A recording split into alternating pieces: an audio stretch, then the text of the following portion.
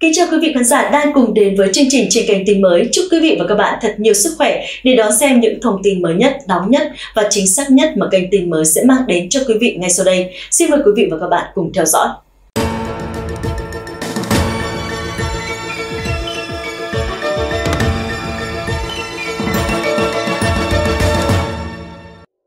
Thưa quý vị, hiện nay phân tích trên ảnh vệ tinh và ảnh radar thời tiết cho thấy có một vùng mây đối lưu ở các tỉnh Hòa Bình và Phú Thọ đang di chuyển và mở rộng về phía Hà Nội. Dự báo trong khoảng 2 giờ tới, vùng mây đối lưu này sẽ bắt đầu gây mưa rào và rông cho các quận nội thành của thành phố Hà Nội.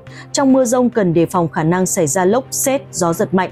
Trong 6 giờ qua, từ khoảng 9 giờ cho đến 15 giờ, ở khu vực tỉnh Sơn La đã có mưa vừa, mưa to và có nơi mưa rất to như là ở trạm Mường Sang là 70,4 mm, Cảnh báo trong khoảng 6 giờ tới, ở tại khu vực tỉnh Sơn La sẽ tiếp tục có mưa với lượng mưa tích lũy phổ biến từ 20 đến 40 mm, có nơi cao là trên 80 mm. Cảnh báo nguy cơ xảy ra lũ quét ở trên các sông suối nhỏ, nguy cơ sạt lở đất trên sườn dốc tại các huyện là Mục Châu, Sông Mã, Sốp Cộp, Vân Hồ, Yên Châu và Mai Sơn.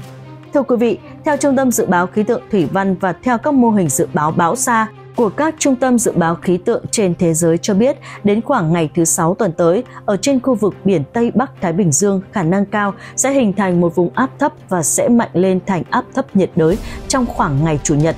Những ngày sau đó, áp thấp nhiệt đới có khả năng sẽ mạnh lên thành bão và có xu thế di chuyển vào khu vực biển của Philippines trong khoảng những ngày tiếp theo.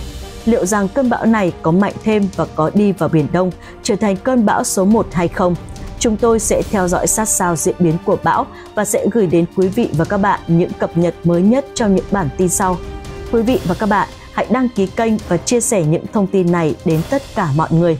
Mỗi một lời chia sẻ của quý vị sẽ giúp lan tỏa và giúp bà con nhân dân sớm có được những phương án phòng chống kịp thời. Tiếp theo là tin gió mùa đông bắc hiện nay. Ngày hôm nay, bộ phận không khí lạnh đã báo vẫn tiếp tục di chuyển xuống phía Nam. Dự báo ở trên đất liền trong khoảng ngày và đêm mai, bộ phận không khí lạnh này sẽ ảnh hưởng đến khu vực phía đông bắc bộ, sau đó sẽ ảnh hưởng đến một số nơi ở phía tây bắc bộ và bắc trung bộ.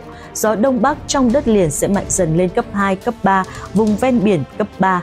Trong khoảng đêm nay và ngày mai và ngày kia, ở khu vực phía Đông Bắc Bộ và Thanh Hóa trời chuyển mát.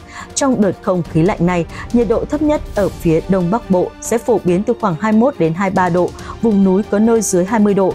Còn trên biển từ đêm ngày mai ở vịnh Bắc Bộ sẽ có gió Đông Bắc mạnh dần lên cấp 5.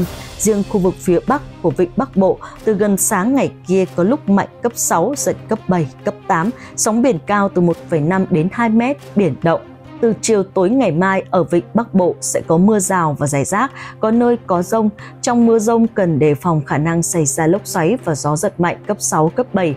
Trong ngày và đêm hôm nay ở Bắc Bộ sẽ có mưa rào và rông rải rác, cục bộ có mưa to, riêng khu vực vùng núi phía Bắc có mưa vừa, có nơi mưa rất to, với lượng mưa phổ biến từ khoảng 10 đến 30 mm, có nơi trên 50 mm.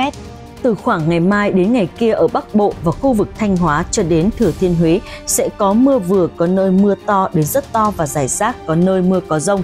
Với lượng mưa phổ biến từ 20 đến 50 mm trên 24 giờ, có nơi trên 80 mm trên 24 giờ. Trong mưa rông có khả năng xảy ra lốc, xét, mưa đá, gió giật mạnh. Mưa rông sẽ kèm theo các hiện tượng như là lốc, xét và mưa đá, gió giật mạnh có thể sẽ gây ảnh hưởng đến sản xuất nông nghiệp, sẽ làm gãy đổ cây cối, hư hại nhà cửa, các công trình giao thông, cơ sở hạ tầng. Mưa to cục bộ có khả năng sẽ gây ra tình trạng ngập úng tại các vùng trũng và thấp, các vùng ven sông. Gió mạnh và sóng lớn trên biển có khả năng sẽ ảnh hưởng đến các hoạt động của tàu thuyền và các hoạt động khác. Tiếp theo sẽ là phần tin dự báo mưa rông diện rộng và mưa lớn cục bộ lốc, xét, mưa đá, gió giật mạnh – ở khu vực Bắc Bộ, Nam Trung Bộ, Tây Nguyên và Nam Bộ do ảnh hưởng của không khí lạnh tăng cường nén rãnh áp thấp có trục ở khoảng từ 25 đến 27 độ vĩ Bắc xuống phía Nam. Cho nên trong đêm hôm nay ở Bắc Bộ sẽ có mưa rào và rông rải rác, cục bộ có mưa to, riêng khu vực vùng núi phía Bắc sẽ có mưa vừa, mưa to, có nơi mưa rất to, với lượng mưa phổ biến từ 10 đến 30 mm, có nơi trên 50 mm. Từ ngày mai, do chịu ảnh hưởng kết hợp với hội tụ gió lên đến 5.000m, nên Bắc Bộ và khu vực từ Thanh Hóa đến Thừa Thiên Huế sẽ có mưa vừa, mưa to, có nơi mưa rất to. Ngoài ra, từ chiều tối ngày hôm nay và ngày mai, ở khu vực Nam Trung Bộ, Tây Nguyên và Nam Bộ tiếp tục có mưa rào và rải rác có rông, cục bộ có mưa vừa, mưa to. Thời gian mưa sẽ tập trung vào khoảng chiều và tối với lượng mưa phổ biến từ 10 đến 30 mm, có nơi trên 50 mm. Cảnh báo mưa vừa, mưa to ở khu vực Bắc Bộ và Thanh Hóa đến Thừa Thiên Huế có khả năng sẽ kéo dài cho đến hết ngày kia. Trong mưa rông có khả năng xảy ra lốc, xét, mưa đá, gió giật mạnh và sẽ gây ra tình trạng ngập úng ở các vùng trũng và thấp. Tiếp theo sẽ là tin dự báo thời tiết chi tiết các khu vực trên cả nước trong đêm nay và ngày mai. Ngày mai khu vực Hà Nội trời nhiều mây, đêm có mưa rào và rông rải rác, ngày có mưa vừa, có nơi mưa to và rải rác, có nơi có rông, gió đông đến đông nam cấp 2, cấp 3. Trong mưa rông có khả năng xảy ra lốc, xét, mưa đá, gió giật mạnh, nhiệt độ thấp nhất từ 23 đến 25 độ, nhiệt độ cao nhất từ 26 đến 28 độ. Phía Tây Bắc Bộ trời nhiều mây, đêm có mưa rào và rông rải rác, có nơi có mưa to đến rất to, ngày có mưa vừa, có nơi mưa to đến rất to và có nơi có rông, gió nhẹ. Trong mưa rông có khả năng xảy ra lốc, xét, mưa đá. Gió giật mạnh, nhiệt độ thấp nhất từ 22 đến 25 độ, có nơi dưới 22 độ, nhiệt độ cao nhất từ 25 đến 28 độ, riêng khu vực Tây Bắc có nơi trên 28 độ.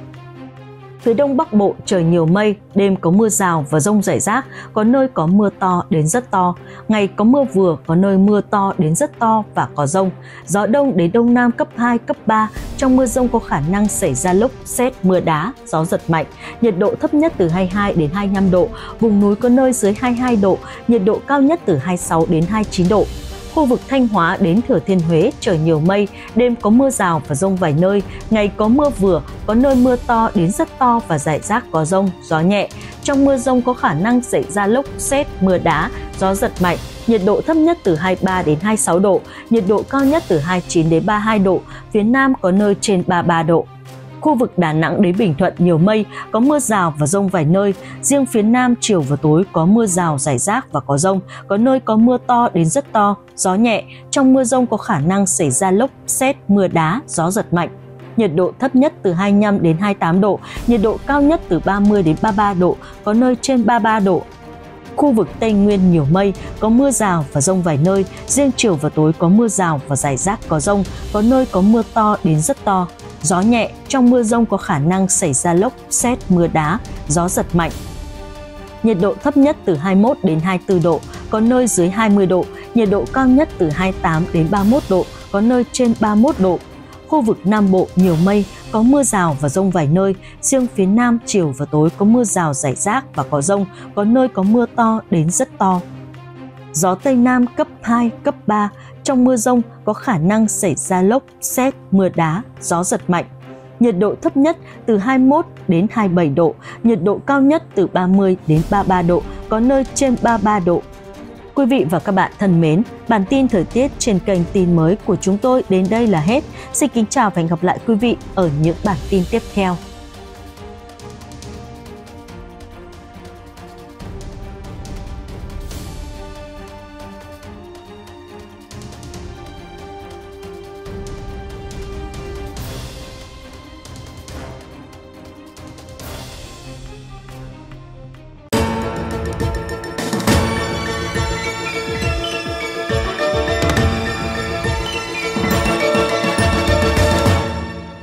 Những thông tin vừa rồi cũng đã kết thúc bản tin thời sự tổng hợp ngày hôm nay. Chúng tôi sẽ tiếp tục cập nhật những thông tin mới nhất trong những bản tin tiếp theo. Quý vị hãy đăng ký kênh tin mới để theo dõi. Còn bây giờ, xin chào và hẹn gặp lại.